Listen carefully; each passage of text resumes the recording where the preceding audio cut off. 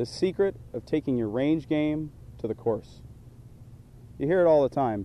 People go out and they say, I was hitting it so good on the range today. It felt amazing. As soon as I got onto the golf course, it felt like a whole nother person. There's reasons for that. Look at where we're standing right now. Every shot out here is a flat lie. As soon as you get to the golf course, it's a whole different story. What I'm going to teach you today is how to turn any lie, uphill, downhill, side hill, any lie, into a flat lie.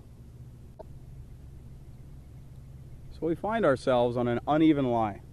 Here the ball's above our feet. Now, some of the normal advice typically you might hear is swing towards, swing down the slope, swing to the slope. Whichever way you feel that your body is leaning, swing that direction. This advice is going to cause you a lot of inconsistencies for a few reasons. For instance, one, let's say we're on an uphill lie here. We tried to swing to the slope.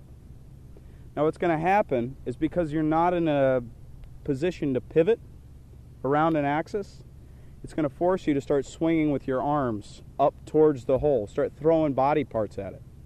This does a couple of things. One, it's going to cause you inconsistencies in your power application because you're not putting the same number of pounds into it every time. And whenever you move and you pull with your arms, it levers you backwards. Now, if you go back and you study the alignment, now alignment is one of the most difficult concepts to grasp. But once you understand it, it will make everything fall into place. It'll you'll begin to feel how the whole swing is controlled through the ground and through the feet. And it's all about ball position. You want to set up, you want to turn any lie into a level lie. The way you do this, and by level lie, I mean that you're able to still get your power in the same manner, from the same rotational move, the same exact shot anywhere, and your shoulders will maintain level. As you rotate, everything will come through pivoting around an axis. That's the trick to this shot. Put yourself in a position Feel yourself almost like you were coming up to kick the ball and you're rotating around an axis. So what you got to do, now the rule of thumb is typically, the rule of thumb is it goes back in your stance, the ball's going to go back in your stance no matter what the lie undulation.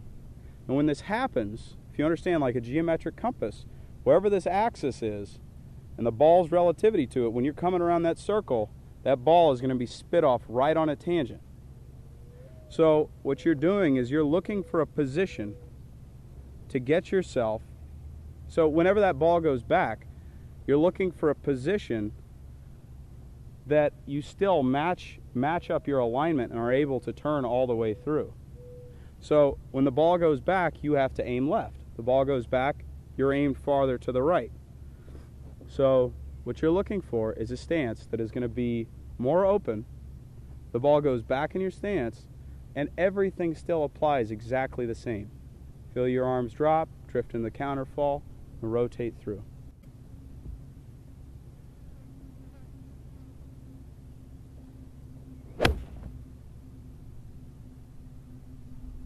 You find your feet, you'll find the best swings and the easiest power you can possibly imagine.